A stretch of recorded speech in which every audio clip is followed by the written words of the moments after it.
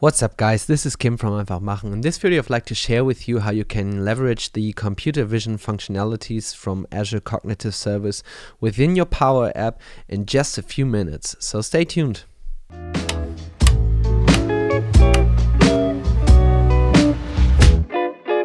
So the use case is quite simple, but I think it's enough to give you an impression of how easy and how powerful at the same time these functionalities are. So I can take a photo in my app here, send this to Cognitive Services via a Power Automate flow, and the flow responds to me what's shown on this picture, gives me a confidence and gives me also tags about things that might be on this picture. So they are basically three tools that we will use in this video. The first one is the Power App where we take our image. The second one is the Power Automate Flow which we use to analyze the image and the third and the third service is the Microsoft Azure Computer Vision resource.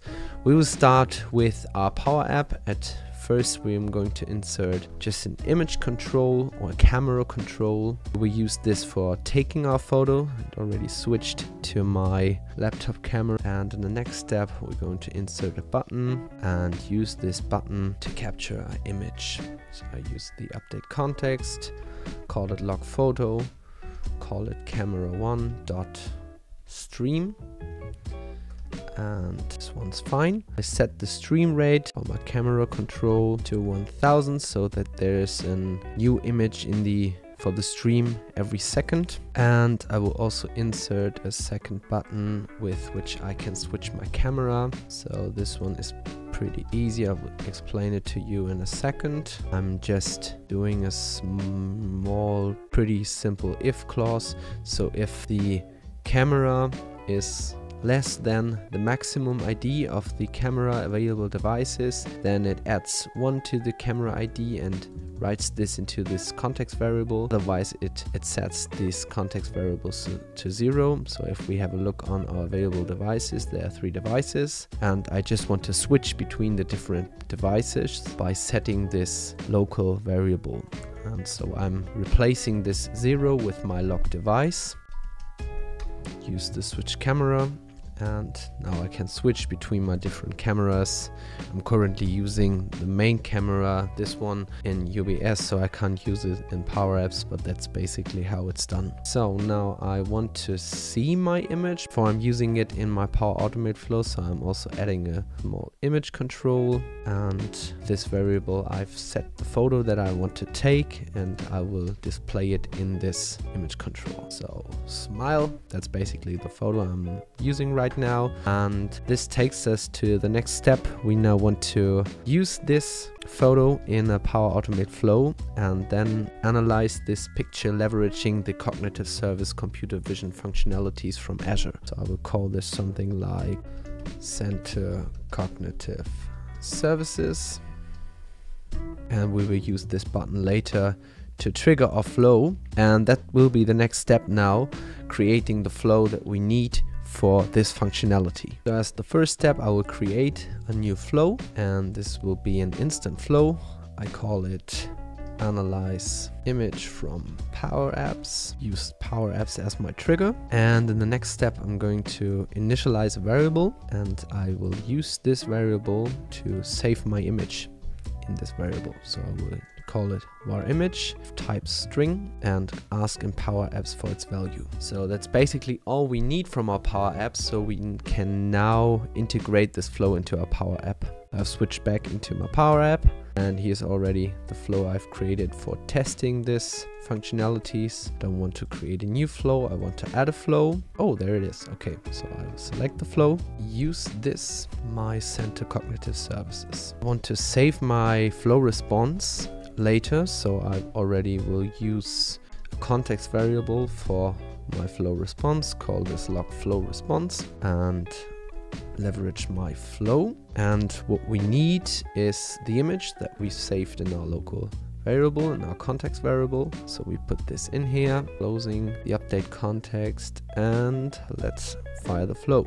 So back to our flow. There we can see was the first run. It succeeded. And if we click to download, this is basically the JSON for image. And now we need to do some modifications to this JSON, but it's pretty simple and after that we can analyze this image. So I will initialize another variable and I will call this var split text value.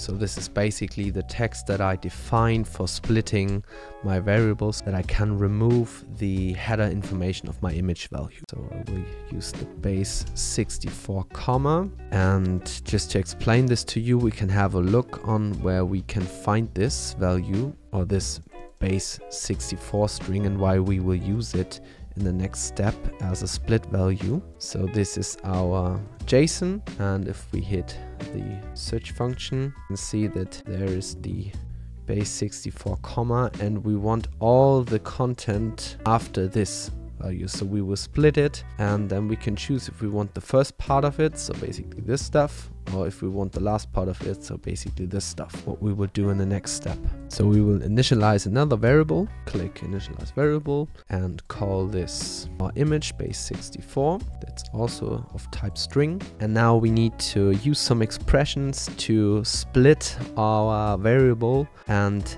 then use the last part of it, but it's also not that hard. So at first we start with our last function and now we want to split text and this is our image variable. We want to split the image variable based on our split text value. So that one we've defined in the previous step. And that's it basically. So now we're getting just the last part of our image variable based on where we decided to split the variable and we did decide to split this on the base 64 where this string appears. So we can again test it, have a look on the value and if we compare this one to the previous then we can see that here's all this data, image, PNG, base 64 stuff and We've split this so that we just get all the stuff that comes after our base 64 comma.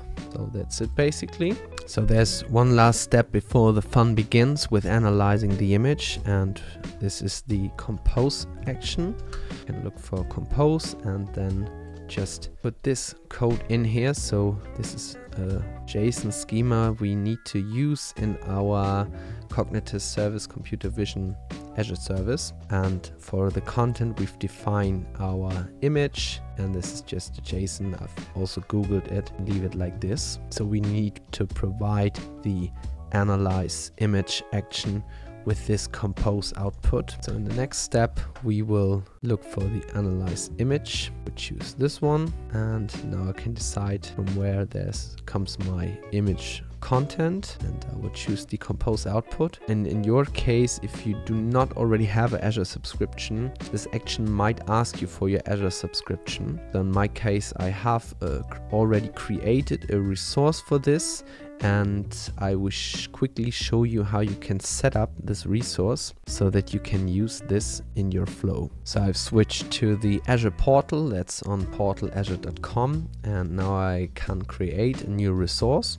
and I will search for computer vision and create. In my case, I have Azure for Students subscription, so I can test all these different services and I will create a new resource group for this and call it analyze image computer and choose as the region the region that is next to me. This also for name, like this kind of pricing. In my case, I've already used the F0 pricing for another resource that I created. So in your case, I would recommend just for testing purposes, choose the cheapest pricing tier that is available to you. And of course, you need to agree with these terms above and click on review and create. And now the deployment of the resource is in progress and it's already completed. So I can go to the resource. And now what I need to create a new connection in my Power Automate flow, I need to get my endpoint and API key. So I click here to manage keys and select my key copy this to clipboard and now I can click here on add a new connection, enter my API key and enter my endpoint. It's called site URL in Power Automate. Create the connection and that's it basically. So now you can see a second connection appears in my case and now I have to select the outputs again. Save this flow for a second. The last step is now that I want to respond all this stuff that my analyze image gives to me to Power Apps. Therefore, I select the respond to a Power App or flow action and call this captions. So captions is basically this value, hand holding a book and the confidence. And the second value I wanted to retrieve are the tag names and I will call this as a second output tag names. And now I just have to choose this from my analyze image. So here are the captions. This is basically a simple JSON. We will have a look on this in the next step. Also the tag names. Here are the tag names, collection of tag names. I will save this flow. And now I'm back in my Power App and refresh this flow. I'm back in my Power App and we already inserted the flow trigger on this button.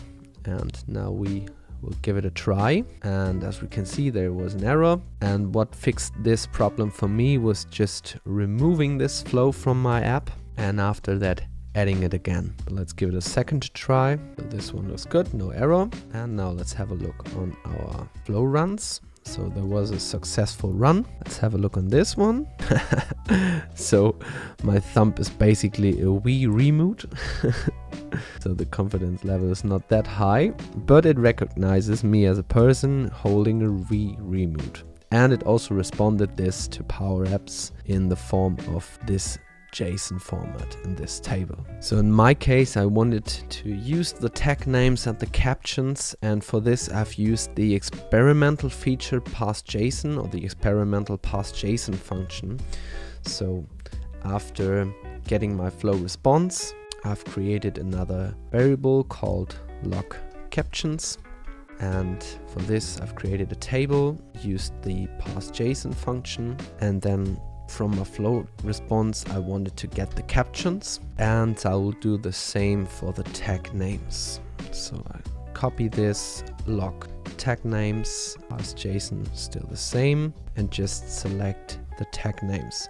So these are basically just these two properties that I respond from Power Automate to my Power App. Give it another try. And if we have a look on our variables, then we can see that there are some values in it. And I will show you how you can make these values visible in Power Apps to make this wonderful image a bit smaller, adding a gallery and just insert a simple label. And in my gallery, I will use the log captions because that's a table as my data source and we'll insert a text label and in the next step I will specify this as this item dot value dot text and there you can see there's the text a person holding a Wii remote now we can also copy this one to the right have a look on the confidence there we can see the confidence and we can also leverage this ParseJSON functionality for our tags. So we will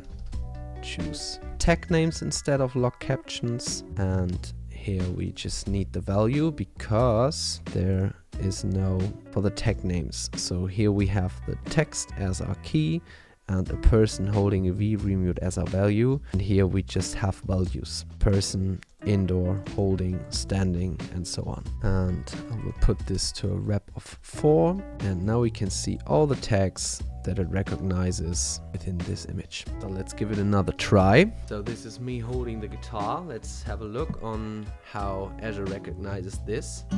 And as you can see, it recognizes me holding the guitar again. Uh, I think this is a quite good example how easy it is to leverage these advanced image recognition and computer vision functionalities in Power Apps. So setting up this flow was quite straightforward developing this small power app as well. I've used some really good resources for this. I will put them in the comments so you can have a look on their blog posts and on their videos as well. I think this is a nice use case to get started with these functionalities and I hope you like it and see you in the next video.